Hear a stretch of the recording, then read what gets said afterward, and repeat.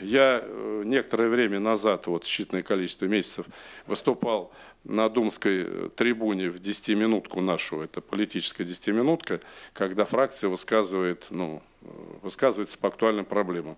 Я, я, я выступил как автор этой, этих 20 км в час ненаказуемых и обратил внимание коллег на то, что возникают все чаще заявления и озвучиваются планы э, возвращения к 10 км в час, и все говорят, опять же, ну на, Западе же нет такого. Да на Западе взятки полицейские не берут. Ну, и на Западе никто не ставит знаков, ограничивающих скорость на федеральных трассах. А у нас, ради бога, идешь 90 или 110, бах, 50 км в час. Все. Или ремонт стоит, ремонтные работы. Ремонтом там и не пахнет, давно он сделан, или его не было, или еще не будет полгода, а уже стоят знаки и камеры.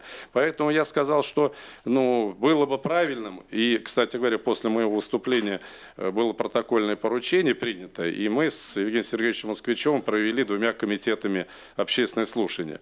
И фракция э, «Единой России», я член фракции, не член партии, член фракции, Э, на сегодняшний день она может измениться, конечно, но политика такая вещь. Но на сегодняшний день позиция фракции не менялась. Мы готовы обсуждать тему возможного снижения, потому что некоторые СМИ написали, Лосаков согласен. Не, я не согласен абсолютно. Я готов обсуждать эту тему, но только после решения э, других актуальных проблем. Прежде всего, это аудит улично-дорожной сети. И Черников, кстати, с этим согласен, он тоже высказывался по этому поводу. Это первое. Второе, необходимо убрать с дорог эти капканы, ловушки, потому что эти знаки – это ловушки просто. Они стоят, слушайте, населенный пункт, ну вообще непонятно где, вот там в стороне, ограничение 60. Да там никто не ходит даже. Там барьеры металлические. Почему я должен сбрасывать до 60? Вот я в Греции был, там 90 мимо населенных пунктов со свистом. Но люди же тоже не дураки, не прыгают уже на дорогу. Но есть переходы там подземные, наземные и так далее.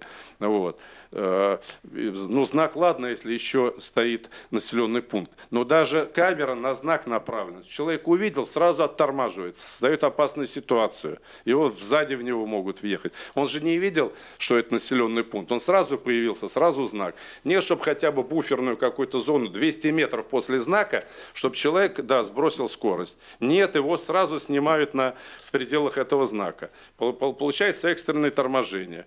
Ну, это, это неправильно. А дальше едет, просто стоит знак ограничения. Почему он, с какого он будуна вообще там появился? Для того, чтобы деньги собирать. Потому что это ловушка, это кормушка. Вот. Но эти-то вещи надо убирать с федеральных трасс. И самое главное, почему у нас скоростной режим до, сих пор остается так, таким, как, как, э, какого нет нигде, ни в одной стране.